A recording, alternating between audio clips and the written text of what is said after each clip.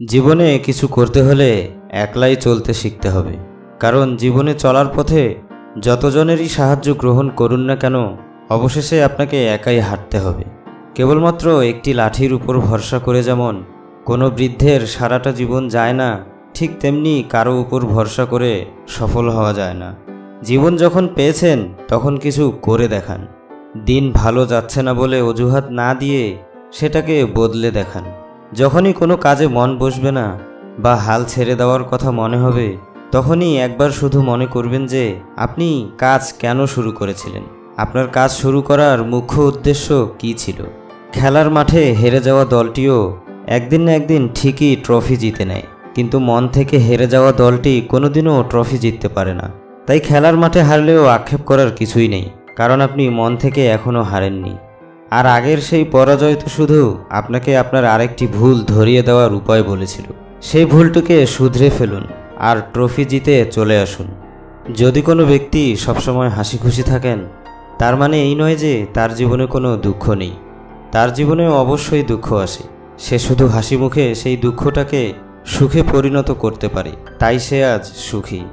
যার জীবনে কোনো উৎসাহ, লক্ষ্য এবং নিয়ম শৃঙ্খলা নেই তার জীবনে সফল হওয়ার সম্ভাবনা ঠিক ততটা বিশাল মরুভূমির মধ্যে হারিয়ে যাওয়া কলমের নিপ খুঁজে পাওয়ার সম্ভাবনা যতটা। আমাদের শরীর ঠিক তাই অর্জন করে যেটা আমাদের মন বিশ্বাস করে। তাই কোনো কিছু আমি করবই এরকম মনোভাব স্থির করে ফেললে পৃথিবীর কোনো শক্তি আর সেটিকে থামাতে পারে না। কোনো পরিবর্তন একদিনে হওয়া সম্ভব নয়। পরিবর্তন হওয়ার জন্য অনেক সময় লাগে। কিন্তু শর্টকাট রাস্তায় পাওয়া কোনো পরিবর্তন বেশি দিন স্থায়ী হয় না। অচিরেই তা ধসে পড়ে। অপরের সাথে নয়, নিজেকে নিজের সাথেই তুলনা করুন। নিজেই নিজেকে যাচাই করার চেষ্টা করুন যে, আপনি গতকাল যেমন ছিলেন, আজ তার থেকেও উন্নত হয়েছেন নাকি অবনত হয়েছেন। শুধুমাত্র আপনিই পারেন আপনার গতকালের আপনিকে টেক্কা দিতে। কাজ না করে, চিন্তা করে কাটানো আমাদের সবচেয়ে বড় অপরাধ। যতটা সময় চিন্তার পিছনে ব্যয় করেন ঠিক ততটাই সময় যদি আপনার কাজের পেছনে ব্যয় করেন, তাহলে দেখবেন নিজের অজান্তেই অনেক দূরে চলে এসেছেন।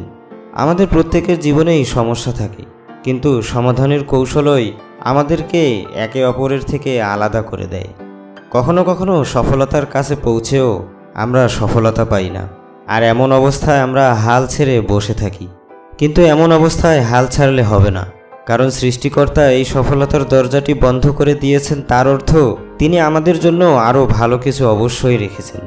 তাই এমন পরিস্থিতির মধ্যে আমাদের ফেলে দিয়েছেন, যাতে আমরা আরও এগিয়ে যাই এবং আরও বিশাল সফলতা অর্জন করতে পারি। কিন্তু আমরা তা না করে হাল ছেড়ে দিয়ে ভাগ্যকে দোষারোপ করি। কিন্তু ভাগ্য আমাদের ঠিকই আছে, শুধু আমরা আমাদের ইচ্ছাশক্তিকে বজায় রাখতে পারিনি। আমরা জানি যে পাঁচ আর পাঁচ যোগ করলে দশ হয়। কিন্তু শুধু পাঁচ আর পাঁচ যোগ করলেই কি দশ হয়? ছয় আর চার যোগ করলেও তো দশ হয়। সুতরাং সমস্যা একই হতে পারে, কিন্তু তার সমাধানের অসংখ্য উপায় আছে। এটা জরুরি নয় যে আমরা সবসময় একই রাস্তায় হাঁটব। সেই রাস্তা থেকে বাইরে গিয়ে সমাধান করলে তবেই না নিজের পরিচয় প্রকাশ পাবে। নিজেকে সবসময় যাচাই করুন। নিজেকে খুঁটিয়ে খুঁটিয়ে দেখুন, আপনার কোথায় ঘাটতি আছে, আর সেই ঘাটতিকে পূরণ করতে লেগে পড়ুন। কারণ কেউই আপনাকে আপনার ভুল সহজে ধরিয়ে দিবে না। সবাই তো আপনার করে যাওয়া ভুলকে নিয়ে মজা করবে। শুধুমাত্র প্ল্যানিং করলেই কিছু হয় না। কারণ মানুষ আপনাকে চিনবে আপনার কাজের উপর ভিত্তি করে। আপনার প্ল্যানিংয়ের উপর ভিত্তি করে নয়। আমাদের জীবন অনেকটা টাকার মতো। একটা মুদ্রা বা টাকা যেমন আপনি একবার খরচ করলেই শেষ হয়ে যাবে, ঠিক তেমনি জীবনটাও একদিন শেষ হয়ে যাবে।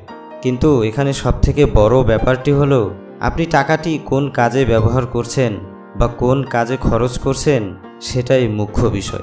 ধৈর্যশীল হওয়ার চেষ্টা করুন, কারণ ভালো কিছু গড়তে অনেক সময় লাগে, আর তাড়াতাড়ি গড়া কোনো কিছু সহজেই নষ্ট হয়ে যায়। তাই তাড়াতাড়ি নষ্ট হয়ে যাওয়ার থেকে ভালো অপেক্ষা করুন। নিজের জীবনকে বিলাসবহুল জিনিসপত্রে না ভরে অভিজ্ঞতা দিয়ে ভরে তুলুন। আপনি যেন অপরকে বলতে পারেন, এরকম একটা গল্পের মতো নিজের জীবনকে সাজিয়ে তুলুন। জীবনে খারাপ সময় এলে বেশিরভাগ মানুষ পালিয়ে যেতে পছন্দ করে। কিন্তু একজন আসল যোদ্ধা সেই খারাপ সময়ের মুখোমুখি দাঁড়িয়ে তাকে পরাস্ত করে সামনে এগিয়ে যায়। সফল সবাই হয় না, অনেক মানুষের ভিড়ে মাত্র হাতে গোনা কয়েকজন সফল হয়। আর এই সফল ব্যক্তিরা কারা জানেন? এরা তারাই যারা ভিড়কে অনুসরণ না করে সেই ভিড়ের বাইরে গিয়ে নতুন কিছু গড়েছিলেন তো বন্ধুরা, ভিডিওটি কেমন লাগল অবশ্যই একটি কমেন্ট করে জানান। সেই সাথে চ্যানেলের বাকি ভিডিওগুলো দেখে নিতে পারেন। সেগুলো ভালো লাগলে অবশ্যই চ্যানেলটি সাবস্ক্রাইব করে দিন। কথা হবে খুব শিগগিরই আবারও নতুন কোনো ভিডিওতে। ততদিন ভালো থাকুন, সুস্থ থাকুন, মোটিভেট থাকুন। আল্লাহ হাফিজ।